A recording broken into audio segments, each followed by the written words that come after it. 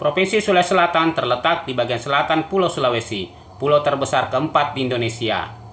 Provinsi ini beribu kota di kota Makassar. Dikutip dari BPS, luas wilayah daratan Sulawesi Selatan adalah 46.717,48 km persegi atau 2,44 persen dari luas daratan Republik Indonesia. Sulawesi Selatan terdiri dari 21 kabupaten dan 3 kota, Jumlah penduduknya saat ini adalah sekitar 9 juta jiwa. Provinsi ini dihuni beragam suku seperti Bugis, Toraja, Makassar, Mandar, Wotu, Duri, Konjo, Jawa, dan lain-lainnya. Di kalangan masyarakat Sulawesi Selatan, muncul wacana pemekaran provinsi itu. Setelah wacana pembentukan Provinsi Luwu Raya, kini muncul wacana pembentukan Provinsi Bugis Timur atau Sulsel Timur. Jika Luwu Raya dan Bugis Timur terbentuk, maka Sulawesi Selatan akan terbagi menjadi tiga wilayah. Kita akan memberi gambaran tiga wilayah itu dalam video ini.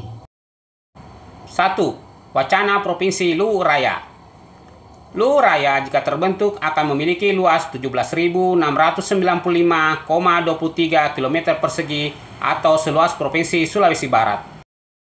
Luwu Raya terdiri dari tiga kabupaten dan satu kota yaitu Kabupaten Luwu, Kabupaten Luwu Utara, Kabupaten Luwu Timur, dan Kota Palopo.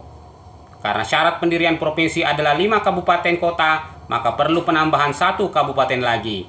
Rencananya Luwu Tengah akan dimekarkan dari Kabupaten Luwu. Ibu kota provinsi rencananya berada di Kota Palopo. Luwu Raya adalah negeri yang dulu bernama Kerajaan Luwu.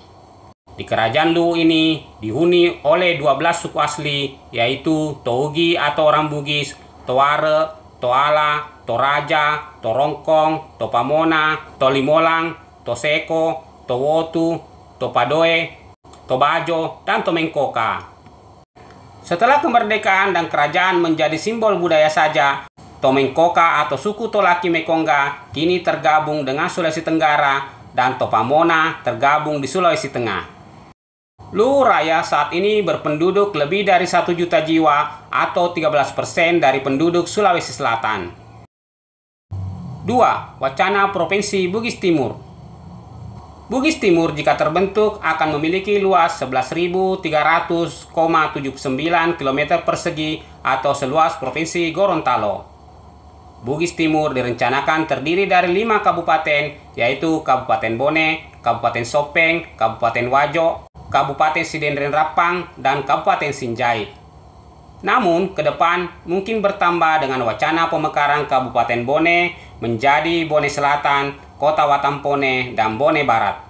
Sedangkan di Kabupaten Wajo ada wacana pemekaran Wajo Utara. Ada tiga tempat yang digadang-gadangkan menjadi calon ibu kota provinsi baru ini, yaitu satu, Kota Watampone. Kota ini adalah ibu kota Kabupaten Bone, di kota ini ada pelabuhan Bajoy untuk penyeberangan ke Sulawesi Tenggara. 2. Kota Sengkang.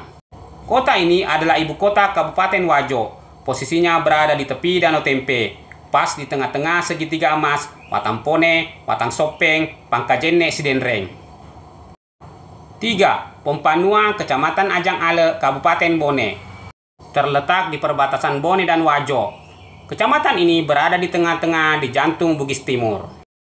Bugis Timur dihuni Tougi atau orang Bugis di seluruh wilayahnya dan orang Konjo di Sinjai Barat. Dahulu kala di wilayah ini berdiri kerajaan-kerajaan seperti Wajo, Bone, Sidendreng, Sopeng, dan beberapa kerajaan kecil. Bugis Timur saat ini berpenduduk lebih dari 2 juta jiwa atau 22% dari penduduk Sulawesi Selatan.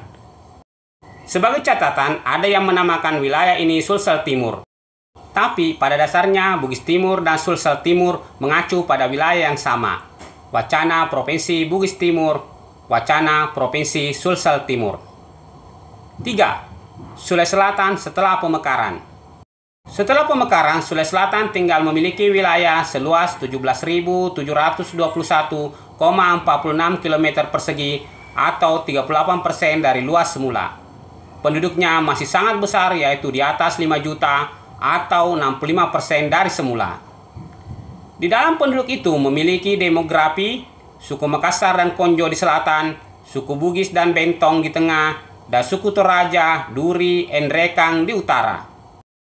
Kabupaten yang tetap di Sulawesi Selatan adalah Pindrang, Baru, Enrekang, Tanah Toraja, Toraja Utara, Pangkajene Kepulauan, Maros, Takalar, Jeneponto, Bantaeng, Bulukumba, Selayar, Kota Parepare, dan Kota Makassar.